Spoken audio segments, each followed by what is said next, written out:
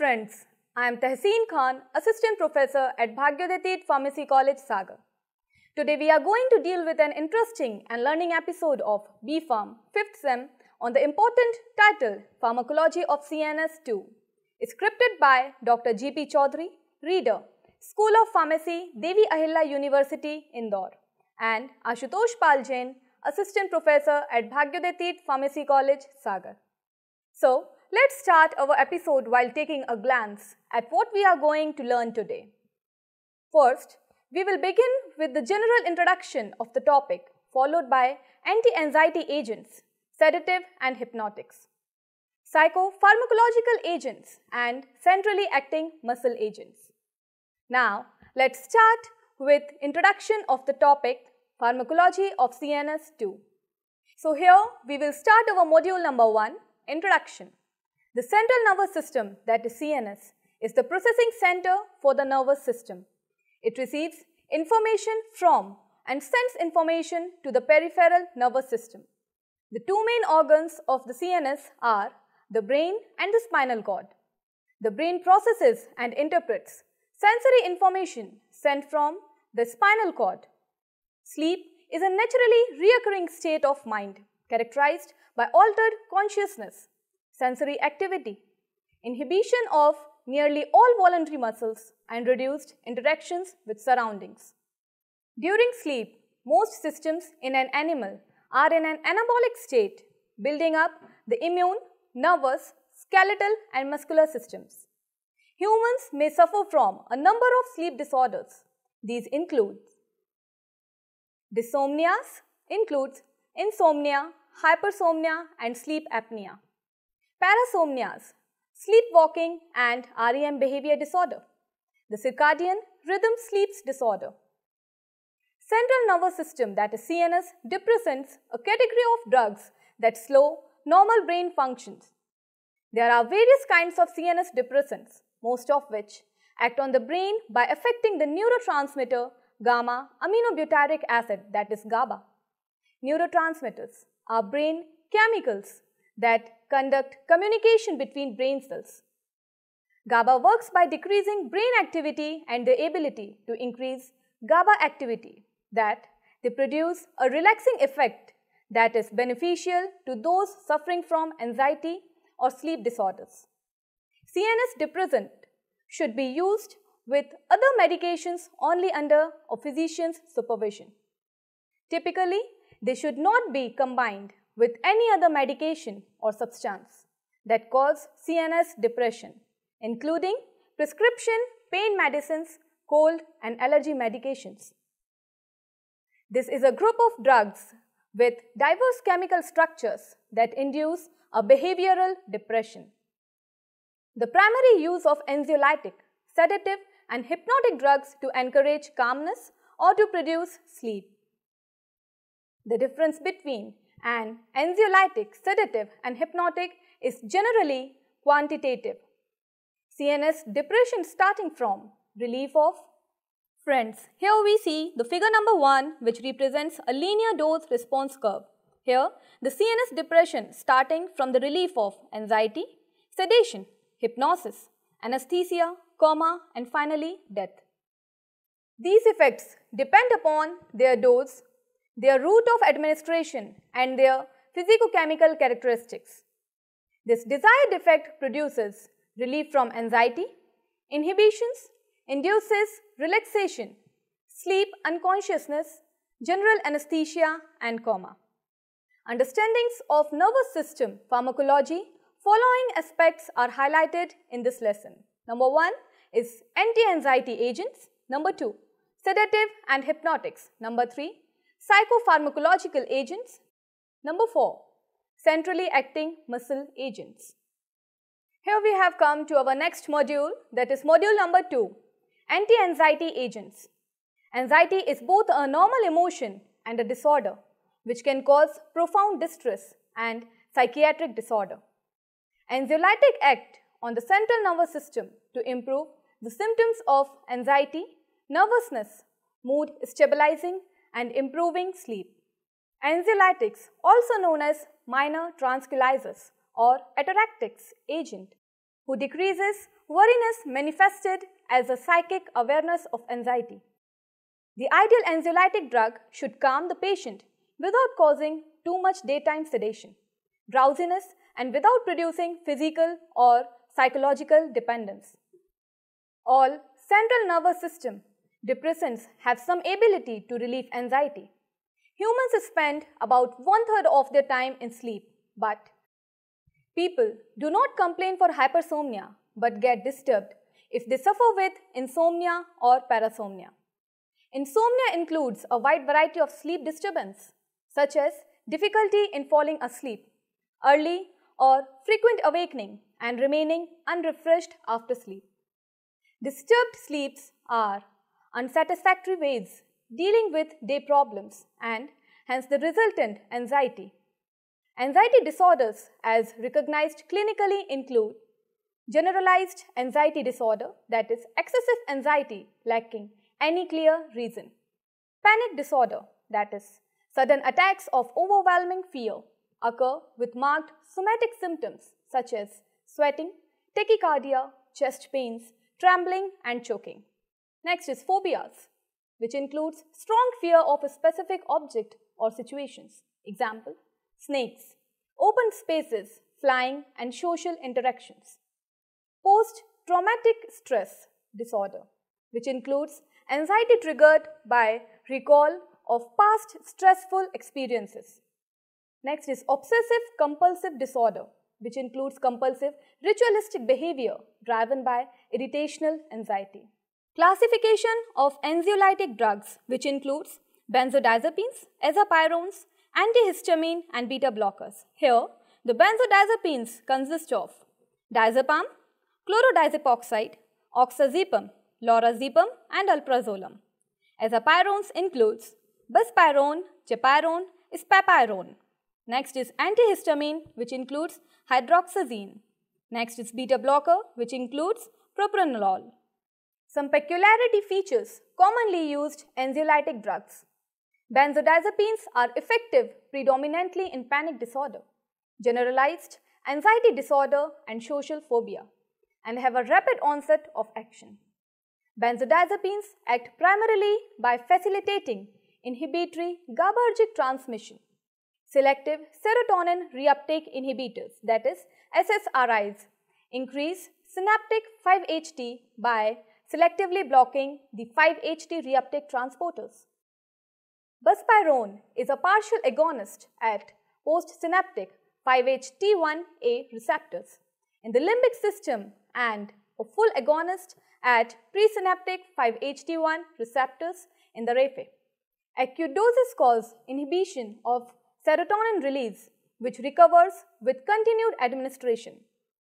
Venlafaxine, it a serotonin and noradrenaline reuptake inhibitor that is SNRI.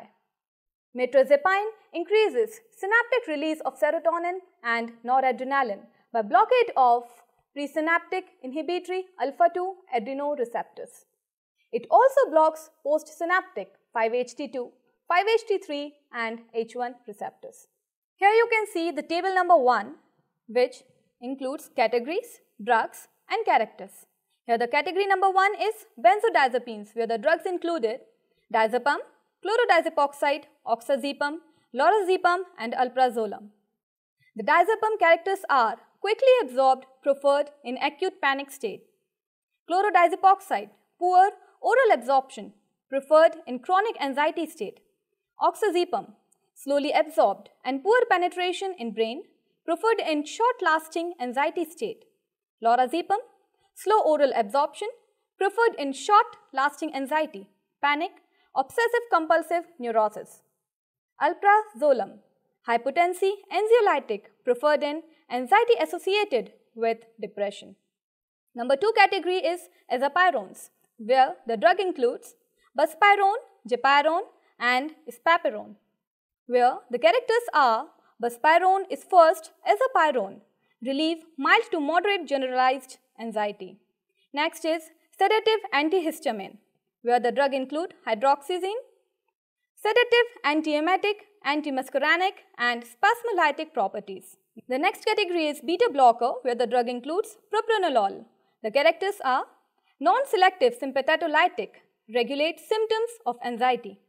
The next is selective serotonin reuptake inhibitors, that is SSRIs, where the drug includes citalopram, escitalopram, fluoxetine, paroxetine, and sertraline, where the characters include first-line therapy for all anxiety disorders except simple phobia. The next is modern evidence-based drug treatment of anxiety disorders. Here, the table includes anxiety disorder, first-line treatment, second-line treatment, and other treatments. First is generalized anxiety disorder, that is GAD, where the first-line treatment is SSRIs, example, escitalopram. Second-line treatment, venlafaxine. Third is other treatment, that is benzodiazepines. Next is panic disorders, where the first-line treatment is SSRIs, example, citalopram. Second-line treatment, clomipramine, and other treatment contains benzodiazepines, example diazepam. Next is phobias, where the first line treatment is psychological therapy and second line treatment benzodiazepines, example diazepam. Next is post-traumatic stress disorder, where the first line treatment is SSRIs, example paroxetine, and second line treatment is mirtazapine. Next is obsessive compulsive disorder, where the first line treatment is SSRI, example, fluoxetine, and second line treatment is clomipramine. Other treatment includes deep brain stimulation and neurosurgery. Module 3 Sedative Hypnotics Sedative hypnotics are xenobiotics that limit excitability sedation and induce drowsiness and sleep, that is, hypnosis. Sedation means reduce in alertness and responsiveness to any level of stimulation without inducing sleep. Hypnosis, in which the subject becomes passive, highly suggestive, and obeys the commands. In medical terminology, hypnosis means a state that resembles natural sleep but that person can aroused by strong stimuli like pinprick. All sedative hypnotics one approach to induce central nervous system that is CNS depression. Classification of sedative hypnotics includes barbiturates, benzodiazepines and miscellaneous, where the barbiturates includes long-acting, short-acting and ultra-short-acting. The long-acting drug includes phenobarbital, mephobarbital. Short-acting, phenobarbital, secobarbital, amobarbital. Ultra-short-acting, thiopentone, methohexital. Next is benzodiazepines. The benzodiazepines are frequently classified into three groups, long-acting, intermediate acting and short acting. The long acting drugs are diazepam, clonazepam, flurazepam and clorazepate.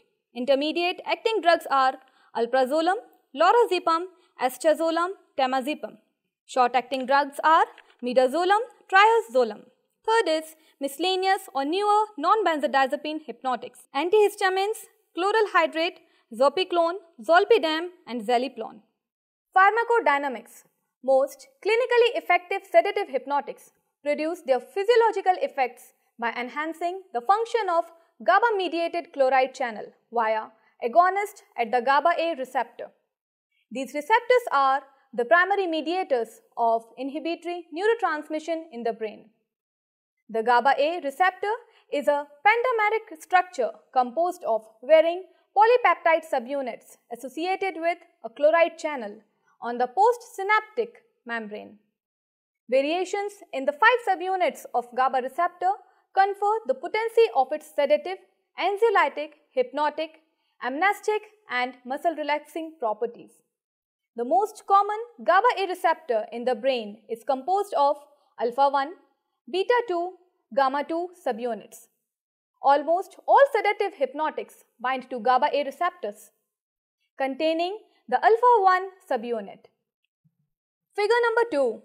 Main sites of drug action at GABA A receptor which represents a model of hypothetical GABA BZD chloride ion channel receptor complex with site of action of agonist, antagonist, channel blocker and modulators. Dichloroethanol and propofol also inhibit glutamate mediated N-methyl D-aspartate that is NMDA receptors, thereby inhibiting excitatory neurotransmission.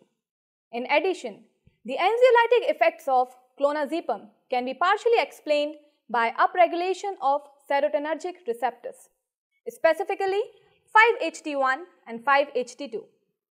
Newer sleep aids such as melatonin and ramelteon do not act on GABA A receptor. Instead, they are agonists at melatonin receptor subtypes MT1 and MT2 in the suprachiasmatic nucleus of the brain. Pharmacokinetics Most sedative hypnotics are rapidly absorbed via the gastrointestinal that is GI tract with the rate limiting step consisting of dissolution and dispersion of the xenobiotics. Barbiturates and benzodiazepines are primarily absorbed in the small intestine. Drugs that are highly lipophilic penetrates most rapidly. The ultra short-acting barbiturates are clinically active in the most vascular parts of brain. After initial distribution, many of the sedative hypnotics undergo a redistribution phase as they are dispersed to other body tissues, specifically fat. Benzodiazepines can be demethylated, hydroxylated and conjugated with glucuronide in the liver. Glucuronidation results in the production of inactive metabolites. Benzodiazepines such as diazepam are demethylated which produces active intermediates with a more prolonged therapeutic half-life than the parent compound. The majority of sedative hypnotics such as the highly lipid soluble barbiturates and the benzodiazepines are highly protein bound. These drugs are poorly filtered by the kidneys. Elimination occurs principally by hepatic metabolism. Table selection criteria for sedative hypnotics. The group includes benzodiazepines, barbiturates and miscellaneous. Benzodiazepines, clonazepam and clorazepate. The advantages are potential use in chronic therapy for seizures. Flurazepam, quazepam. The advantages are these less potent and more slowly excreted, show no rebound, insomnia on discontinuation of treatment. Lorazepam, temazepam, where the advantages are does not require phase 1 metabolism, safer in hepatic impairment. The disadvantage is they may disturb intellectual functioning and motor dexterity. It have the potential for dependence and withdrawal seizures. The next group is barbiturates, where the drugs are phenobarbital, pentobarbital. The advantages phenobarbital is one of the cheapest and least toxic anti-epileptic. Secobarbital, amobarbital. Use as a preoperative drug to produce anesthesia, anxiolysis in short surgicals. Thiopental, rapid onset of action. The disadvantages are these drugs induce tolerance, drug metabolizing enzyme and physical dependence. Next group is miscellaneous, where the drugs include buspirone. The advantages prolonged use for chronic anxiety does not potentiate the CNS depression of alcohol, little potential for addiction. The disadvantage slower onset of action than benzodiazepine, have no anticonvulsant or muscle relaxing properties.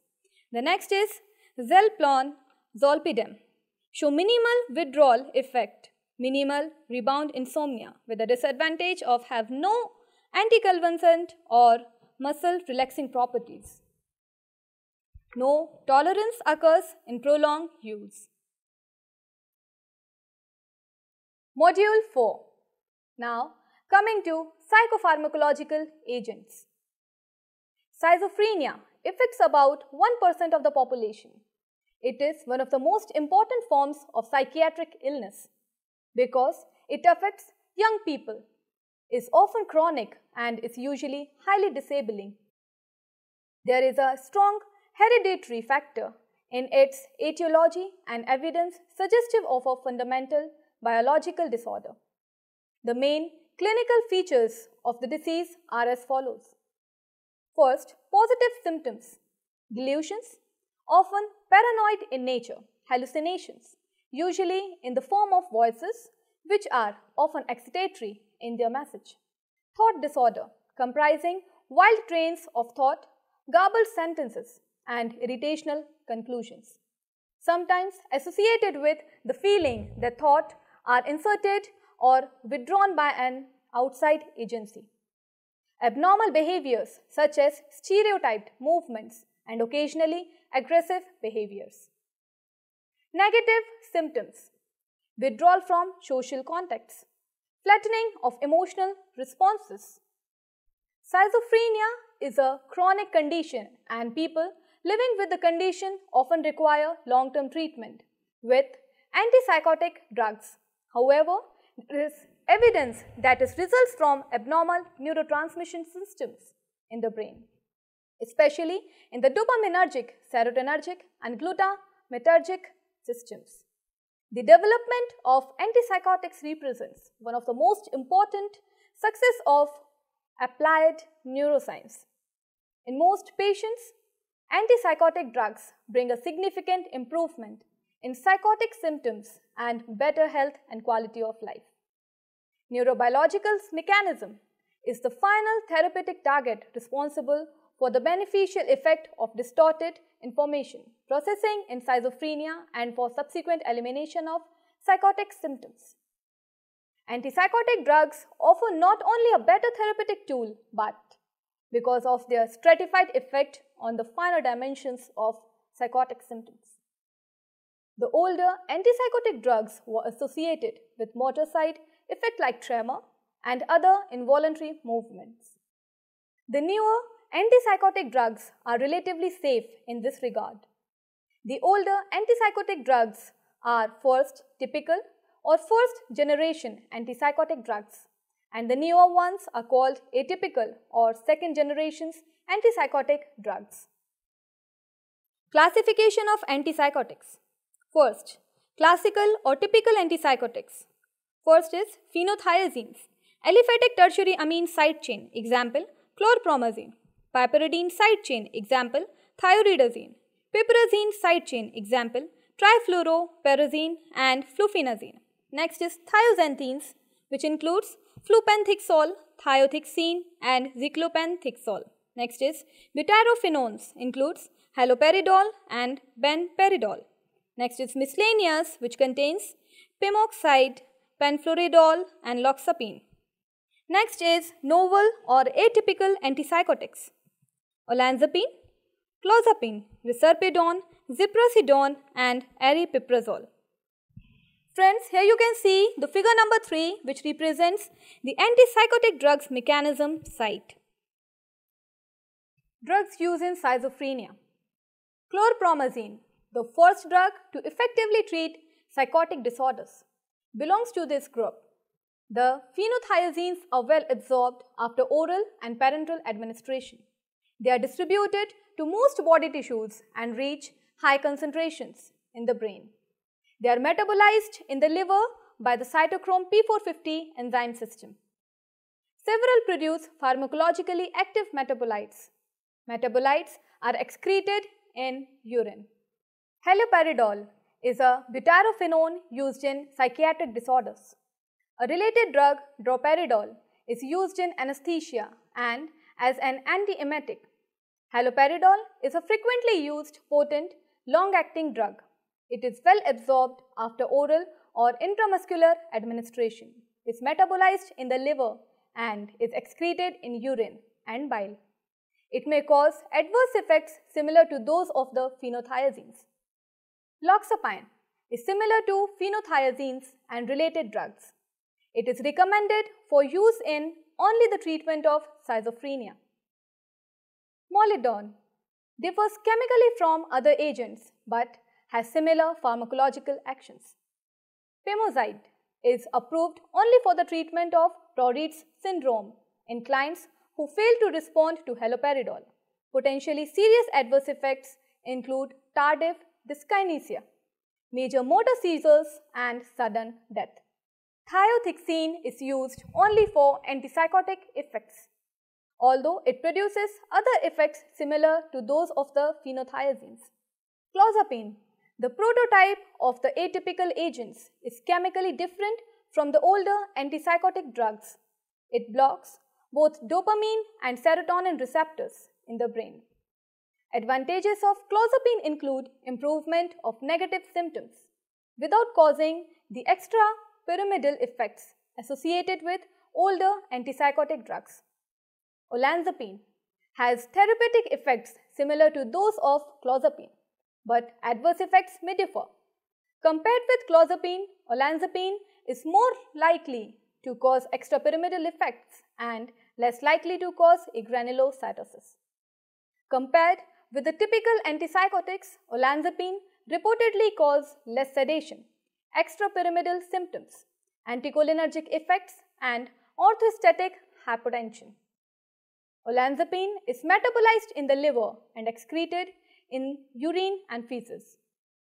Quetiapine, like the other atypical agents, blocks both dopamine and serotonin receptors and relieves both positive and negative symptoms of psychosis. Common adverse effects include drowsiness, headache, orthostatic hypotension and weight gain. Risperidone also blocks both dopamine and serotonin receptors and relieves both positive and negative symptoms of psychosis. It relieved positive symptoms, anxiety and depression to a greater degree and caused less weight gain than olanzapine. Ziprasidone is another atypical agent used to treat schizophrenia. It is effective in suppressing many of the negative symptoms such as blunted affect, lack of motivation and social withdrawal. Adverse effects include cardiac dysrhythmias, drowsiness, headache and nausea. And weight gain is less likely than with other antipsychotic drugs. Aripiprazole, the newest atypical drug, is approved for the treatment of schizophrenia. The beneficial effect of aripiprazole in patients with schizophrenia is proposed to involve a combination of partial agonist activity at D2 and serotonin 5-HT1A receptors and antagonist activity at serotonin 5-HT2A receptors. It may cause neuroleptic malignant syndrome. It may also cause neuroleptic malignant syndrome, tardive dyskinesia, weight gain, hyperglycemia and diabetes mellitus. Adverse effect The atypical neuroleptic have a better safety profile than classical neuroleptics. Dystonia, akathisia and Parkinsonism usually appear early during treatment, while tardive dyskinesia and neuroleptic malignant syndrome appear prolonged treatment of schizophrenia. Neurological side effect due to D2 receptor block in nigrostriatal pathway. Dystonias characterized by spasm of muscles of tongue, face, neck and back. Akathisia characterized by uncontrolled motor restlessness. Parkinson disturbance in the DA acetylcholine balance in basal ganglia. Neuroleptic malignant syndrome characterized by hyperpyrexia, muscle rigidity and damaged. Tardive dyskinesia characterized by oral buccal lingual dyskinesia. Drug interactions with antipsychotic drugs. Antacids decrease absorption of antipsychotic drugs. Anticholinergics increased anticholinergic effects. Barbiturates decrease antipsychotic effects but more sedation. Alcohol, more sedation. Levodopa decrease efficacy of neuroleptics. Cigarette smoking increased metabolism of antipsychotic drugs. Oral contraceptives may potentiate hyperprolactinemia. Module 5 Centrally acting muscle relaxants. These are drugs which reduce skeletal muscle tone by a selective action in the cerebrospinal axis. Without changing consciousness, they selectively depress spinal and supraspinal polysynaptic reflexes involved in the regulation of muscle tone without significantly affecting monosynaptically mediated stretch reflex. Dear friends, here you can see the figure number 4 which represents centrally acting muscle relaxants agent pathway. The cross section of spinal cord showing components involved in the stretch reflex arch with postulated site of action of diazepam and baclofen. Next is classification of centrally acting muscle relaxants. Mephenesin group are believed to be spinal internuncial neuron blocking agents. They preferentially inhibit polysynaptic reflexes without affecting monosynaptic tendon reflexes. These are used to treat muscle spasm of local origin such as spondylitis, sprains and lumbago. Mephenesin was the first drug found to cause muscle relaxation in animal without producing unconsciousness. It is not used clinically because it is gastric irritant and parenteral cause thrombocytophobitis, hemolysis and hypotension. Chlorzoxazone has longer duration of action that is 8 to 12 hours but has slower onset of action. It is orally better tolerated Carisoprodol has medium duration of action that is 4 to 5 hours. Beside muscle relaxant action, it also has analgesic, antipyretic and anti-muscarinic action. Methocarbamol undergoes first pass metabolism and hence preferred by parenteral route. It is less sedative and longer acting than mephenesin. Benzodiazepine group. These drugs enhance GABA transmission in brain and act on GABA A receptor. They inhibit both monosynaptic as well as polysynaptic reflexes and produce marketed sedation. These are particularly useful in spinal injuries, tetanus and rheumatic disorder with muscle spasm. Sedation is the major side effect. GABA derivative baclofen is orally active GABA mimetic drug which act on GABA B receptor. The GABA B receptor are G protein coupled receptor which hyperpolarize neurons by increase K plus conductance and reducing calcium ion conductance. It relieves painful spasticity, it multiple sclerosis and also treats spasticity from spinal injuries. It can also serve as important substitute to treat trigeminal neuralgia and tardive dyskinesia. Sedation, drowsiness, muscle weakness and ataxia are major side effects. Central alpha-2 agonist, tizanidine. It acts by presynaptic inhibition in spinal cord which inhibit the release of excitatory amino acid in spinal interneuron. It may facilitate the inhibitory transmitter, glycine as well. Tizanidine is absorbed orally, undergoes first pass metabolism and excreted by the kidney. It is widely used in treatment of spasticity in multiple sclerosis. It is also effective in patients with amyotrophic lateral sclerosis. Side effect includes drowsiness, dry mouth, asthenia and hypotension. Summary in this chapter, we describe anxiety states and sleep disorders are common problems and sedative hypnotics are among the most widely prescribed drugs today. CNS depressant effects depend upon their dose, route of administration and their physiochemical characters. Here, we describe the different types of CNS depressing agents. Physiopharmacological agents are effective in treatment of schizophrenia and other agitated state. Without them, much of modern medicine would be impossible with negligible extrapyramidal side effect. These were labeled as atypical neuroleptics. We also discussed some general aspects of centrally acting muscle agents and described their therapeutic application and pharmacology. With all these information, here we come to the end of our today's lecture Pharmacology of CNS 2. I will be back with few more lectures in the series. Do keep in mind that what we discussed today. Time for you to self-study. If you want to learn more and enhance your knowledge, you may log on to our website for MCQs, quizzes, LORs at www.cec.nic.in. Till then, keep studying. Goodbye. Thank you.